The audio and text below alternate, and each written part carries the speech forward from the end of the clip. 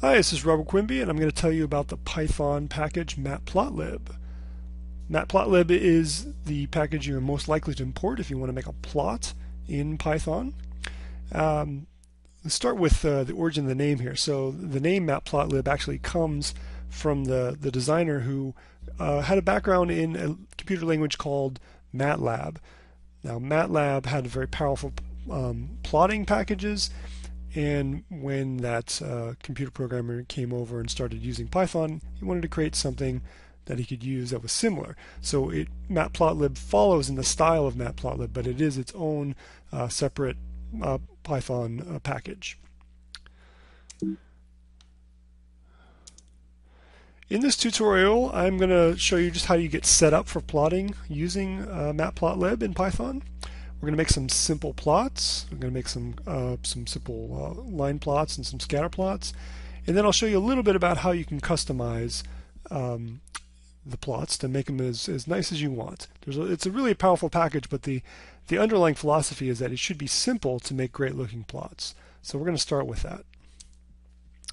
Uh, if you want the full details of how you can do everything, there is, of course, a, a Matplotlib user's guide, which is online, and this is a, a pretty good guide. It's it's got um, all the history and all the details you want about how to install it, and it has these great tutorials as well. Uh, so I highly recommend you look at these. The nice thing about them is that they have these kind of this this page with this graphical interface here, so you can actually just click on sample plots and you can see, well, should I make something like that, or oh, there's, there's an image here, and you, you can get an idea for what you can do um, with Matplotlib, and then you can actually see how you can go and, and do it. So I highly recommend you take a look through these um, if you want to get ideas of what you can do, or if you have an, a question about how you do something in, in particular. But for now, we're just going to get started with the basic uh, import command. Now, one thing you're going to do if you're um, running this in a Jupyter Notebook or an IPython session, you might want to have an interactive um, uh, connection to, to your plots. Um, or you might not. You might just want them to pop up in line. So we're actually going to do the, something along the lines of the latter here. So we're first going to tell our session that we want to set up matplotlib in the inline fashion. So we're going to use this uh, percent sign here and type map um, plotlib, right? And then space and then inline. So this is a magic command called matplotlib, and it's going to tell um, the kernel how to set up the plotting. After we do that, we can actually import the package we want from matplotlib. And there's a somewhat indirect way to do this. The, the usual way to do this is we say from matplotlib import pyplot. And we could just import it just like that, but as is often the case with these standard packages, people are busy and they want to shorten this.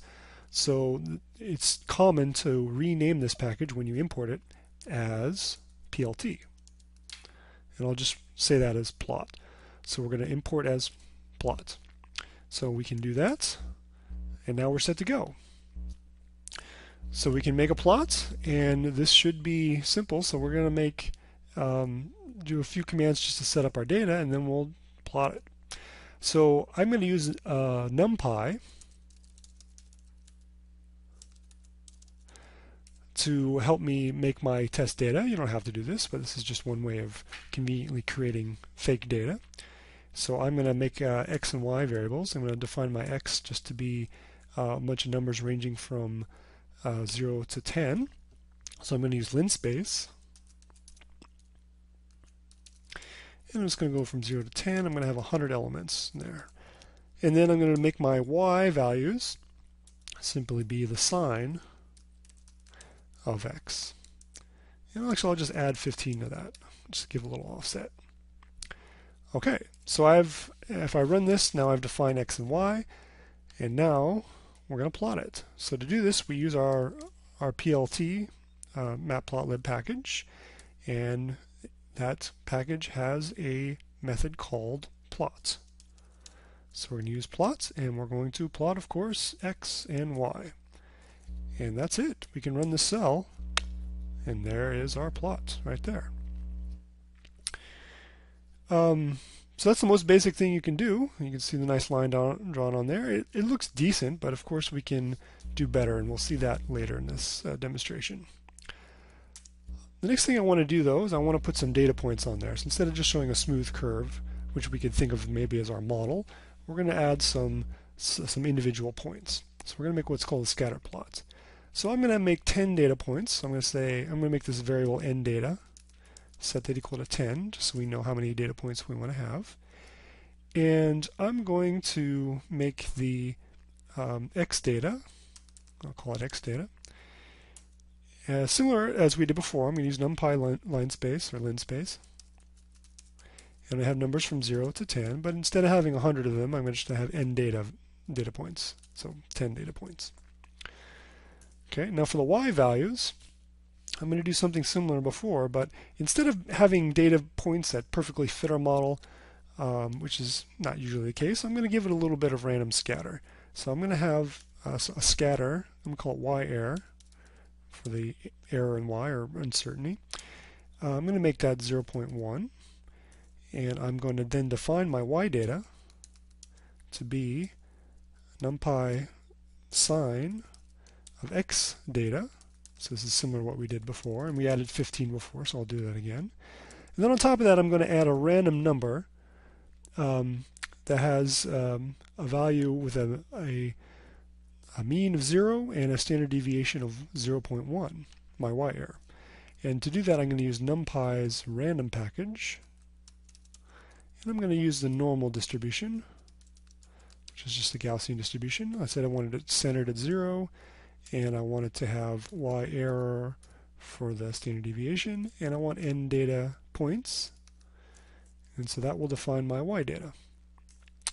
And see what I did, I can now plot using scatter because I want to scatter plots my x data, y data, and I can just plot that like that. Now what I can do is there's plenty of options um, to these methods. So if you want to change the plotting symbols, for example, the color, uh, you can do that. I'm going to change the color to red, just like that. Right? And I could just have typed R. You didn't actually have to spell out R. R is the shorthand for red in, in Matplotlib. And maybe on top of this, just because this kind of looks like a mess, just to guide your eye, I'm going to add uh, that model we had, x and y. So if I do this, now we can see that I've ran, added random uncertainty. So some of these data points don't perfectly fit with the model, but you know you can run this every time you run it, you'll get a different random distribution. They're always pretty close to the model. This should be within a standard deviation of 0.1. Okay, so there's a scatter plot. Um, when you make a plot and you have data points, you should always show the error bars. So actually I'm going to show you another way to plot this now using um, make, with error bars on there so we can see how well the, the data truly agree with the model. So I'm going to use the PLT error bar function. I'm going to plot my x data and my y data. And I'm going to tell it what the uncertainty is in the y data. I'm going to make it red again. I'm going to use C as a shorthand for, um, I'll use color color is red. And I can plot um, just like this. And you'll see what it does. It makes these error bars up here. But we, we want to see where our symbols are. So we're going to tell it to make the markers, that's the plotting symbols, make those circles. So I just do quotes and put an O, just the, the letter O, lowercase. If I run that, now it makes dots filled in dots where uh, the markers are. Maybe I don't want to connect the lines like that. That's not really telling me anything too, too useful. So I can change the line style to none. And this is in quotes with a capital N. If I do that, it turns off the, the line. And just lastly, I can again plot our model. So plt.plot plot plot my x, y values, just so we can see how well. And now you can see the error bars on there. You can see how well it agrees with this curve. All right, so this is kind of the basic things you can do. You can obviously plant, plot, um, plot different data, um, but there's more customization you can do to these plots to make them look better, and we're going to talk a little bit about that now.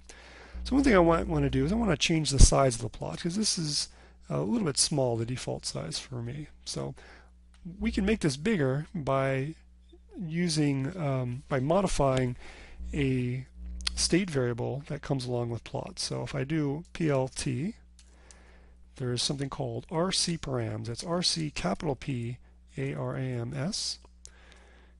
And then in quotes, um, so this is uh, basically a dictionary, and I'm going to say that I want to set the figure dot fig size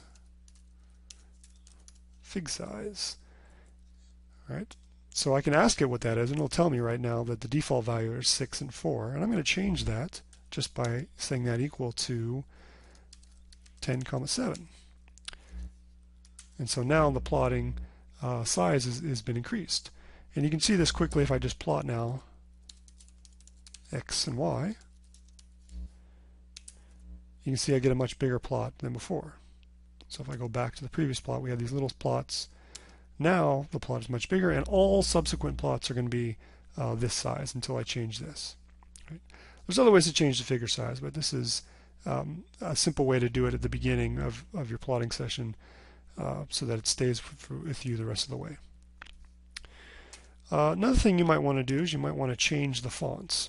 So instead of doing the RC params, I'm going to use plot.rc. There's a function uh, method, plot.rc, and as an argument, it takes um, a string that says what you want to change. I want to change something about the axes.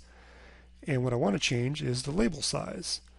I'm going to change the, the font size from the default to 14, make it a little bit bigger. And I want to make the label weight bold. All right, so all applies to the axes. And maybe the title size, I'll make that bigger. I'll make it 16 point font, and I'll make that bold as well. And then just in general, for all the fonts, I want to change from the default to a sans serif font. So if I run this, I've now updated my defaults and subsequent plots will, will have a different font. so last thing we're going to do is we're going to plot everything together. We're going to have that plot with the model curve on it. We're going to have data points. And I'm going to add uh, some other things to it. I'm going to add a legend. And I'm just going to run this cell and then we're going to talk about what it does. So if I run this, here's the results. And you can see that's a much prettier plot than we've been looking at before. We've done some customization. And here's how we did that. So first thing is I plotted this uh, model curve. I used plt.plot. I plotted my xy values. And I told it I wanted the, the line width to be bigger than the default. I set the line width LW to 5 to make this curve nice and bold so it stands out better. I changed the color, and I just use C as a shorthand for color, to blue. That's why it's blue. And I'm going to label this model so that when I plot the legend later, it puts in the legend, the name model, next to this uh, curve color. Uh, Z order is a very optional thing. It just is going to put that curve in the background. So I said Z order 1, so it's going to be kind of at the lowest level, and I'm going to put things on top of it. The, so the next thing I'm going to put is actually those data points here. So I'm going to use error bar again. I'm going to plot my x data, my y data, and I set the, the y uncertainty. Uh, so that's the size of the, the height of these error bars here. That's what y error is. I'm going to make it red. I'm going to plot it on top of that blue curve so that we can see the red in front of the blue. Um, cap size is going to set the size of these caps, these end caps on either side of the error bars. By default, it's not going to show anything if you, if you remember. So I'm going to make those. I'm going to have a, a circle marker filled in. I'm going to make the marker a little bit bigger. I'm going to use marker size to 10. And I'm not going to connect those points, so I'm going to set the line style to none. I could just make this ls, just the same thing, line style, that's the shorthand. And I'm going to label this data so that in our legend it comes out um, uh, with the label data. And then I plot it, I use X label so I can put something on the x-axis, Y label so I can put a, a name on the y-axis, and I put a title up top. You can see those fonts are bold and, and larger than before. I'll plot a grid on the background just to make it a little bit easier for your eye to, to follow. and then I'm going to put that legend on with legend. And the semicolon here just suppresses the um, output uh, to the screen, uh, the, the functional um, return from this. So again, you run all that and you get your pretty light curve. So again, there's a whole lot more you can do. This is just kind of the, the first few things to get started. Uh, do check those uh, tutorials online to get more ideas and have fun.